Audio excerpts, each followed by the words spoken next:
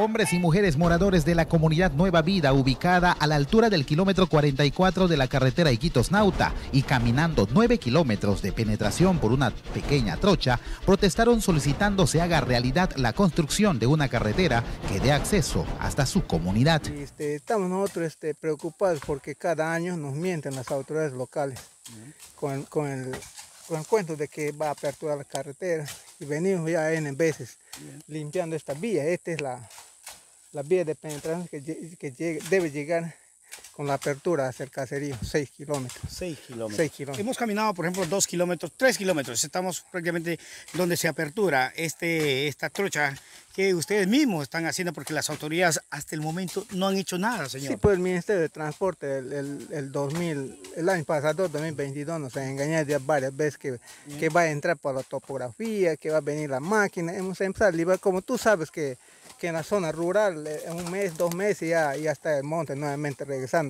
la maleza. Y hay que mantener, pues si había entre una apertura, ya pues nosotros la mantener mejor hasta que le que mejor dicho le den su mantenimiento ya la, la entidad correspondiente.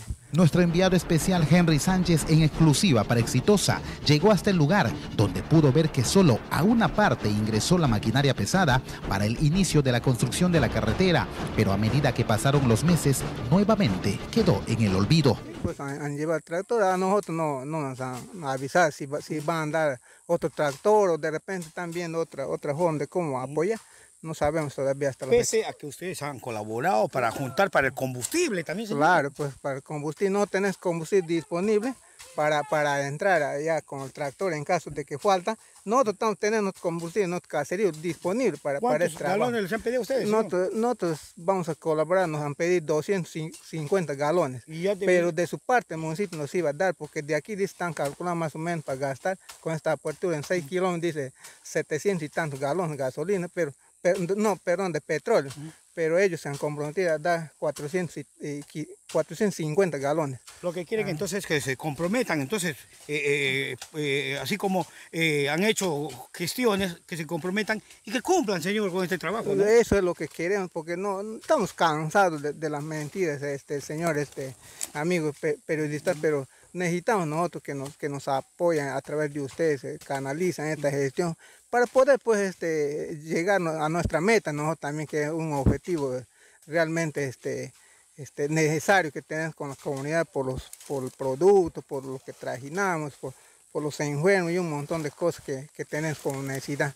Nuestro reportero junto a los moradores de Nueva Vida caminó por una pequeña trocha por donde a diario caminan estos campesinos para sacar sus productos ante alguna emergencia, arriesgándose de ser mordidos por las serpientes.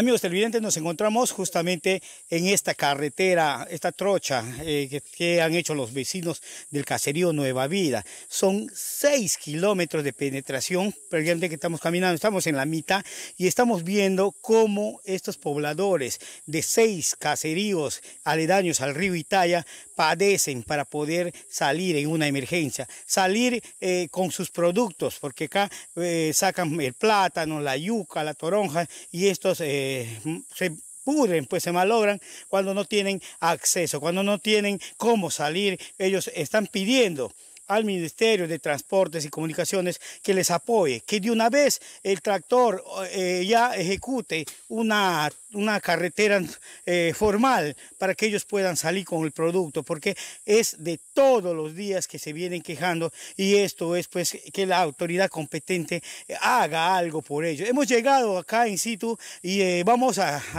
llegar hasta el asentamiento que es el, caserío en Nueva Vida, que es el último caserío de este sector del kilómetro 44 de la carretera Quito Nauta, donde nos van a dar mayores detalles. Desde hace varios meses llegaron hasta la municipalidad de San Juan, pero no fueron escuchados. Asimismo buscaron ayuda a través de algunos congresistas, pero tampoco tuvieron respuestas favorables.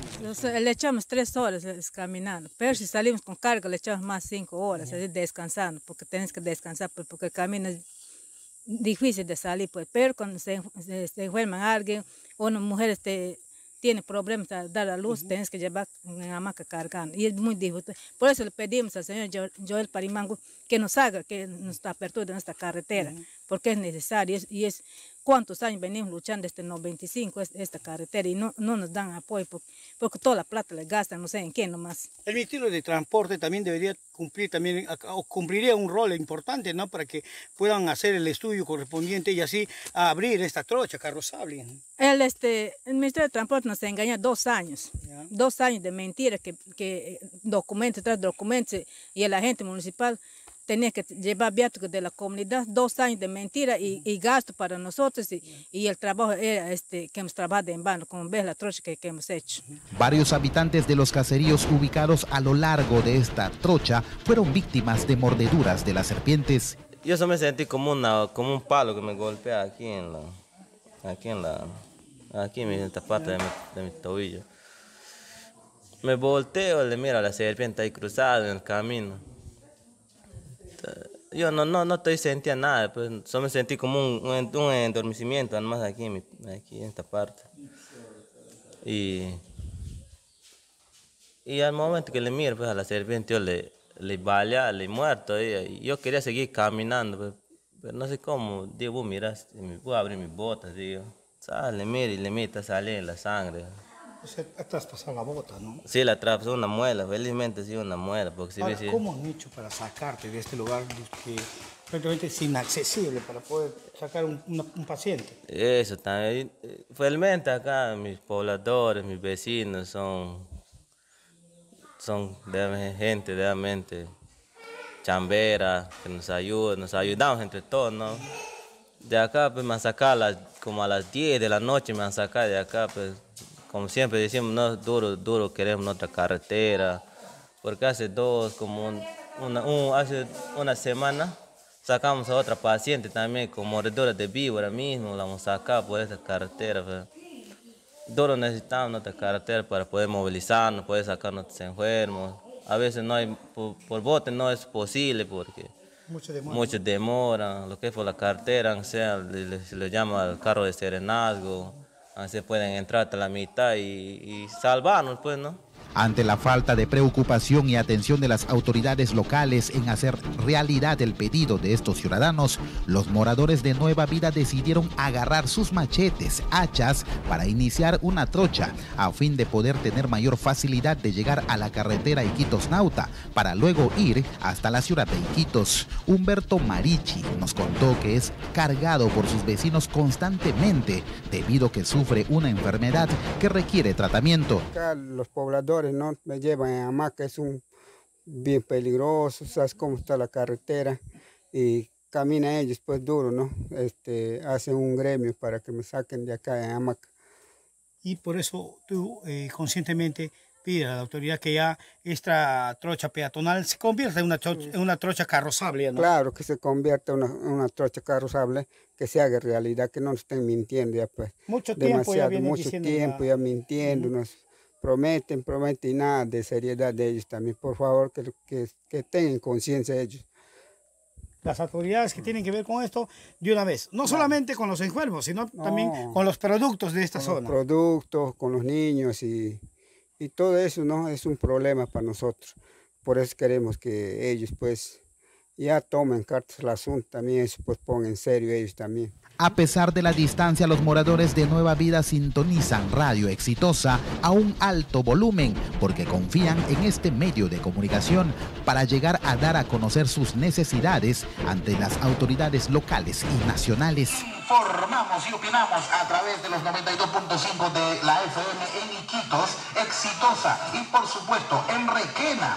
Estamos en los 98.1 Exitosa, la voz que integra al Perú. La profesora del Centro Educativo de Nueva Vida aprovechó las cámaras de Exitosa para pedir a la presidenta de la República, Dina Boluarte, y al alcalde de San Juan, Joel Parimango, así como también al gobernador de Loreto, doctor René Chávez, tomen la debida importancia a la construcción de esta carretera de penetración hasta el caserío Nueva Vida. hacemos un llamado ahorita a la, a la presidenta y a nuestro alcalde encargado ahorita, el presidente regional, que se den la molestia de ver a los alrededores, por ejemplo, de la carretera Iquitos-Nauta, que hay varias carreteras de penetración, varias comunidades que no tienen acceso eh, propicio para, por ejemplo, para transitar para sacar los- sus productos para de pan, de pan, de pan llevar. Que, por ejemplo, yo soy docente, que tengo que caminar cada fin de semana. eh, son dos horas y media prácticamente. Nueve kilómetros. Claro, tengo que caminar y sin embargo, es nuestro trabajo, pertenecemos a esta, a esta profesión y que tenemos que enseñar a los niños, queramos o no, tenemos que caminar, porque es nuestro trabajo. Y por eso hago un llamado a que se preocupen por estas zonas también, que necesitan una carretera de penetración para un acceso propicio para cada uno de los pobladores A este problema se suma la falta del servicio eléctrico. Otro de los temas acá es el, eh, la- el fluido eléctrico. Están más de dos semanas sin fluido eléctrico debido a que el electroliente no llega acá, pese a que vienen pagando también ellos su eh, allá corriente domiciliario. Y esto es una pena de que no responden pues las autoridades que deben de, de ver. Así como de pobladores que están acá en Mitras pidiendo, exigiendo que se haga la carretera y ellos eh, exigen pues a las autoridades competentes, tanto del gobierno central y del gobierno local de Iquitos, que hagan algo para poder ellos eh, ser escuchados y poder salir con sus productos que día a día tienen que llevar al mercado. Estos ciudadanos esperan ser escuchados por parte del gobierno central y del gobierno regional para así poder tener mayor facilidad para trasladar los productos, para venderlos en los mercados de Iquitos y también evacuar a sus enfermos a los hospitales. Queremos.